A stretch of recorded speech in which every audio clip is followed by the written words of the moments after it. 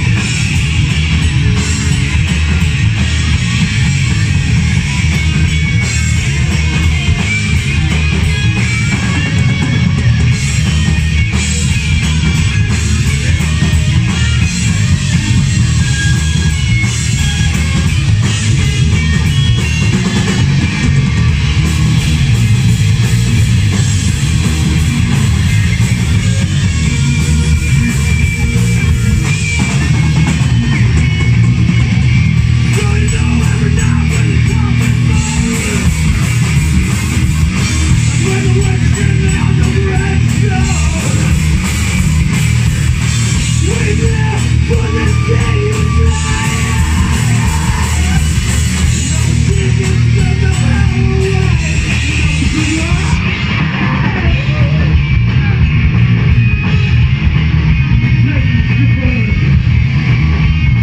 go, let's go, let's go.